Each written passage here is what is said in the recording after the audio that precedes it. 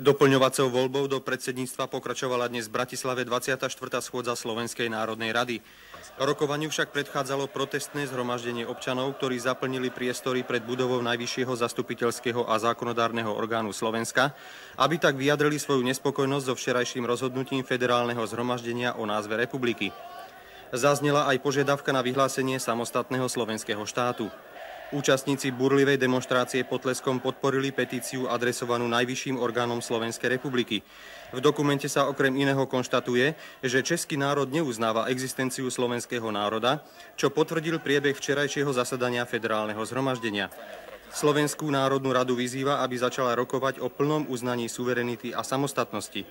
Zasadanie Slovenskej národnej rady bolo potom prerušené. Myslím si tiež, že naši priatelia z Čiech mohli prejaviť trošku viacej také politickej citlivosti voči našim potrebám, ale súčasne si myslím, a to hovorím s plnou vážnosťou, že kompromisné riešenie v tejto situácii považujem za podstatne lepšie ako vyhrotený konflikt. A pokiaľ ide o udalosti, ktoré sa odohrajú pod oknami Slovenskej národnej rady, môj názor je jednoznačný. Poprvé, som presvedčený, že ľudia, ktorí tam stoja, nereprezentujú názor všetkých Slovákov. Po druhé som presvedčený, že hesla ako samostatný slovenský štát by v tomto okamihu boli prehrou a stratou všetkého, čo sme v posledných mesiacoch vybojovali.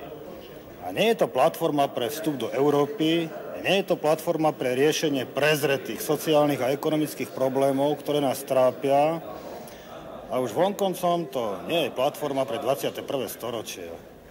Treba si uvedomiť ale aj ďalšiu vec. Myslím si, že udalosti ako je táto patria k zdravo fungujúcej spoločnosti. Nie je dôvodov nazdávať sa, že aj v budúcnosti sa pod oknami významných úradov nebudú zhromažďovať ľudia, nebudú prevelávať svoje heslá, svoje názory. Patrí im to ale patrí aj nám ostatným, ktorí máme, ktorí máme iné názory a iné predstavy o budúcnosti tejto spoločnosti, aby sa ich ľudia dozvedeli, aby o nich rozmýšľali, aby o nich diskutovali. Myslím si, že to zhromaždenie je plné emócií, ktoré plne chápem, skutočne spôsob, akým sa rozhodovalo o názve a najmä ako to bolo zverejnené, nebol vhodný. Pre nás je to veľmi dôležitá, vážna vec. Slovenská národná rada zaujala jednoznačné stanovisko a domnievam sa, že na ňom bude trvať i naďalej. Iná vec je, že tie skupiny ľudí, ktoré sa tu zhromaždili, prišli s, s návrhom alebo s heslom za samostatný slovenský štát. Je to podnet, ktorý si bude vyžadovať vyjadrenie oveľa širšieho pléna na Slovensku a domnievam sa, že v týchto veciach veľa rozhoduje ekonomika, politická situácia, veľa rozhoduje historický kontext, že 70-ročná existencia Československa sa iste nekončí rozhodnutím niekoľkých sto alebo niekoľkých tisíc ľudí. Že je to proste vážnejšia vec. A že možno od tohoto okamihu sa teda otvorene bude hovoriť aj o tejto variante. Prečo nie? E, naše hnutie od počiatku sledovalo zámer maximálne posilniť Národné republiky v spoločnom štáte Čechov a Slovákov. Nechceme predbiehať, preto sme rokovali, zdá sa, aj pre vás novinárov pred uzatvorenými dverami, ale nemali sme žiaden cieľ, len v záujme pokoja, aby sme mohli pokračovať v rokovaní. Len čo bude to stanovisko spracované, schválime ho na našom dnešnom plenárnom zasadaní a oboznáme s tým verejnosť. Ja by som ešte chcel poprosiť našich spoluobčanov, aby zachovali pokoj, aby sa vyvarovali všelijakým vášňam, pretože Slovenská národná rada aj iné orgány vláda chcú tieto otázky riešiť v pokoji, kľudne, s tým, že sa príjmu stanoviska, o ktorých budú oboznámení. Okrem toho, Slovenská národná rada včera i dnes rokuje o mimoriadne vážnych otázkach, ktoré sa dotýkajú budúcnosti našej republiky. Ide o problémy ekonomické, sociálne, politické, rozpočet a veľmi prosíme, aby sme mohli rokovať o týchto otázkach skutočne v pokoji, tak, aby to zodpovedalo záujmom celého nášho národa. Prestávke predseda Slovenskej národnej rady Rudolf Schuster vyšiel na balkón a prislúbil demonstrantom, že o požiadavkách obsiahnutých v petícii budú rokovať slovenské vrcholné orgány s federálnym zhromaždením. Účastníci protestného zhromaždenia sa po tomto vyhlásení rozišli, ešte predtým sa však dohodli na usporiadaní mítingu dnes o 17. hodine na námestí Slovenského národného povstania v Bratislave. O 17. hodine sa v Bratislave na námestí Slovenského národného povstania začala manifestácia, na ktorej sa zúčastnili tisícky bratislavčanov. Odzneli na nej tak konštruktívne, ako aj extrémne, nacionalisticky ladené názory, podobne ako predpoludním pred budovou Slovenskej národnej rady. Tá sa pochopiteľne vzniknutou situáciou zaoberala a niečo po 16. hodine vystúpil jej predseda Rudolf Schuster s vyhlásením, ktoré opakujeme zo záznamu.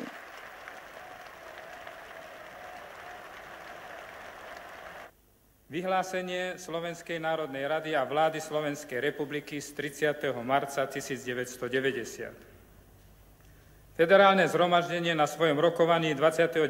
marca prijalo zákon o názve republiky, ktorý vyvolal znepokojenie a nesúhlas obyvateľov na Slovensku. Slovenská národná rada a vláda neustále zaujímali stanoviska k názvu republiky i federácie. V rámci svojej kompetencie prijala Slovenská národná rada názov Slovenská republika, ako aj slovenský štátny znak, vlajku a hymnu. Tieto kroky prijala slovenská verejnosť pozitívne, pretože vyjadrovali vôľu väčšiny národa. Na minulej schôzi prijala Slovenská národná rada uznesenie, v ktorom navrhla názov spoločného štátu Federácia Česko-Slovensko s pomlčkou VKS. Slovenská národná rada a vláda vyslovujú polutovanie nad tým, že federálne zhromaždenie neprijalo toto uznesenie, ktoré vyjadrovalo vôľu a želanie občanov Slovenskej republiky. Sme presvedčení, že názov republiky vyjadruje a predurčuje štátnu formu a spôsob spolužitia oboch našich národov. Preto názov našej krajiny ako Federácie dvoch suverénnych republik musí túto skutočnosť jednoznačne rešpektovať. Prijaté rozhodnutie federálneho zhromaždenia nezodpovedá tejto zásade. Sme presvedčení, že jedna federatívna republika by nemala mať dva názvy. Preto navrhujeme trojstranné rokovanie predsedníctiev federálneho zhromaždenia Slovenskej a Českej národnej rady, federálnej a oboch republikových vlád ako aj rozhodujúcich politických síl. Otázky slovenskej štátnosti a národnej suverenity považuje Slovenská národná rada a vláda za základné princípy svojej politiky, ktoré chcú riešiť pokojnou cestou, rokovaním, s využitím všetkých doterajších pozitívnych skúseností zo spolužitia Slovákov a Čechov. Vyzývame aj všetky politické sily, aby nezneužívali národné cítenie občanov. Veríme, že aj autorita prezidenta republiky môže výrazne prispieť k riešeniu otázky názvu štátu, ktorý bude priateľný pre obidve republiky. Slovenská národná rada a vláda Slovenskej republiky žiadajú všetkých našich občanov o podporu tohto stanovisku, stanoviska a o trpezlivosť a rozvážnosť ktoré sú potrebné pre riešenie tejto pre naše národy tak citlivej otázky.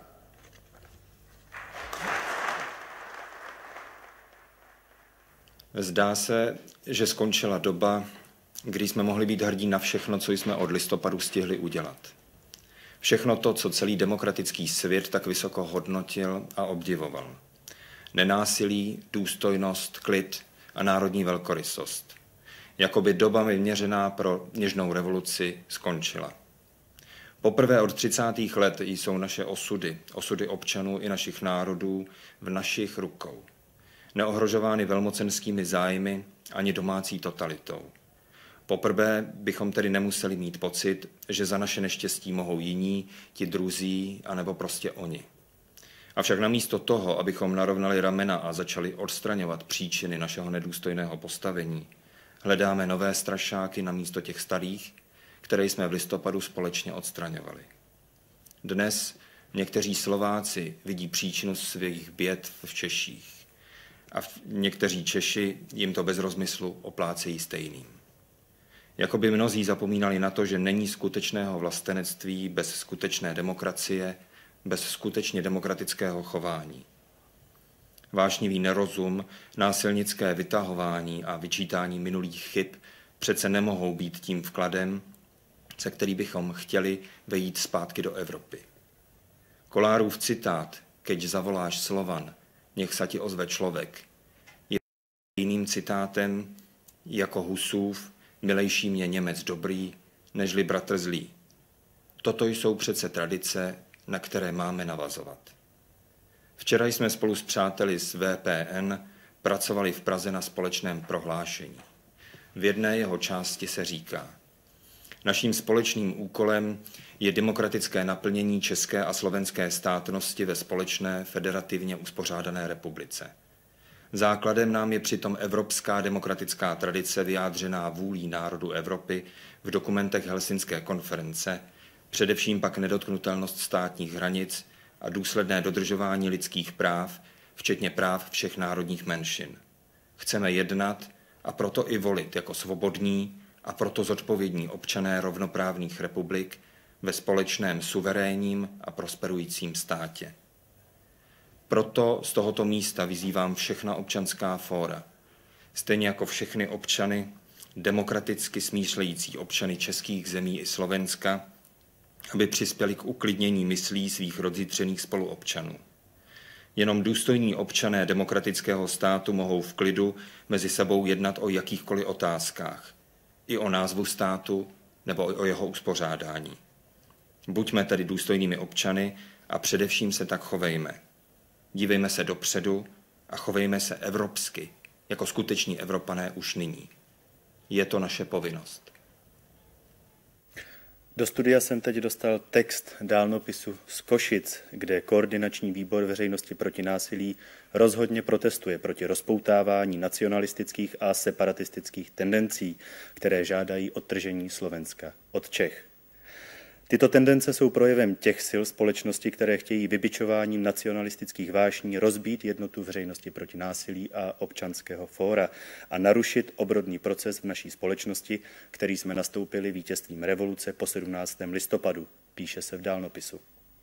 Od těchto snah se rozhodně distancujeme a vyzýváme všechny rozumné Slováky, aby se nedali zmanipulovat těmi, jimž nejde o rozumné řešení slovenské národní identity, ale o rozbití naší republiky. Tolik z dálnopisu Koordinačního výboru veřejnosti proti násilí v Košicích.